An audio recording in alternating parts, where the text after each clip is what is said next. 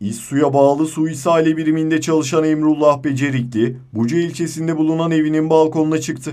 Becerikli bu esnada henüz belirlenemeyen bir sebepten dolayı balkondan düştü. İhbar üzerine olay yerine gelen ekipler Becerikli'nin olay yerinde hayatını kaybettiğini belirledi. Polis olayla ilgili geniş çaplı soruşturma başlattı. İSSU'dan yapılan açıklamada, Su İshali Dairesi Başkanlığında görev yapan kıymetli mesai arkadaşımız Emrullah Becerikli'yi kaybetmenin derin üzüntüsü içerisindeyiz. Ailesine ve yakınlarına sabır ve başsağlığı diliyoruz denildi.